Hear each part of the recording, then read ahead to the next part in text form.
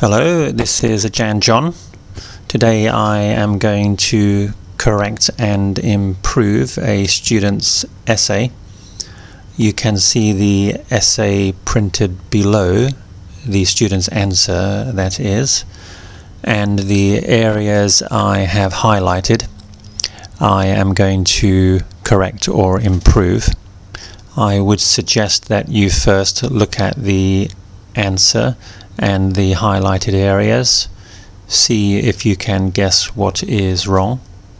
And don't forget, if you are listening to this on YouTube, you can also see the transcript, although there may sometimes be mistakes as this is voice recognition software. So let's begin with paragraph 1. Yes, I believe that when we are teenagers, we all have dreams which may influence our lifestyles when we become adults. I have changed much of this paragraph because the meaning is not clear the way it is written. The writer talks about realistic dreams, but that's really not relevant to the question whether the child's dream is realistic or not realistic is not really relevant. Also, the, the writer is talking about teenagers, whereas the question refers to young people. Remember, teenagers means from the age of 13 to 19, and for this question, we should also be considering much younger age ranges as low as 5 or 6. Paragraph 2. For example, when I was in high school, I found that I was good at, at mathematics. Therefore, I decided I wanted to entrance to the accounting faculty. Here, here we should also add, I, when I was in high school, I found that I was good at mathematics. Therefore, when I went to university, I decided I wanted to entrance to the accounting faculty. This has really affected, with an A, affected my life because now I am working as a finance officer. I put finance officer here because I'm not quite sure what the writer means by financial reporting. Paragraph 3. Some people may say that a child's future is determined by his dreams when he is young.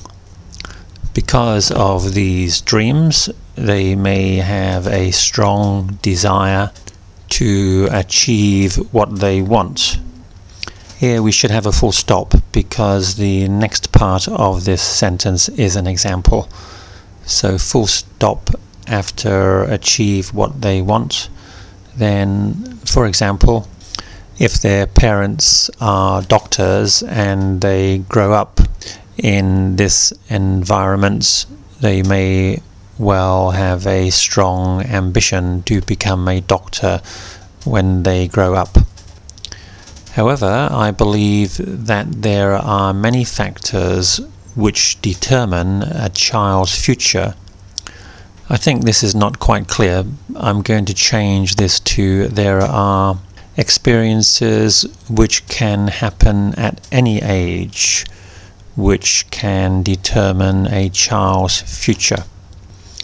I think that's better because the writer's point is that experiences the child has when they are say 5 or 6 or even 18 to 20 can be significant in influencing their adult life last paragraph, in conclusion, I am convinced that life experiences we have when we are young are very influential to our futures. Again, I've made some changes in paragraph 4 to make it clearer. Now, there are many problems with this student's answer, many grammar mistakes, and sometimes her ideas are not expressed very clearly. One easy way to improve this essay is to give more detail. So, for example, in the introductory paragraph number one, we could have given a couple of couple of examples of dreams kids may have. For example, one child may dream of being a policeman, whereas another may want to be a doctor. I remember when I was a kid, I used to love to watch cop movies, and I thought that policemen were all heroes, and I really wanted to be one when I grew up. Remember, by giving more detail like that, you're going to get much higher marks in an exam, and it is also much better quality English. Similarly, in paragraph 2, the writer could have given more detail about the experience of liking mathematics. For example, I found that I was very good at mathematics. I nearly always came top of the class and I had many friends because they would come to me for help with difficult problems they could not solve.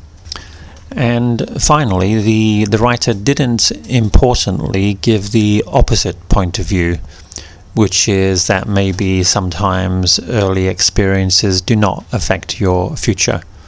So, for example, she could have talked about things which we do in our adult lives which are not the result of childhood experiences.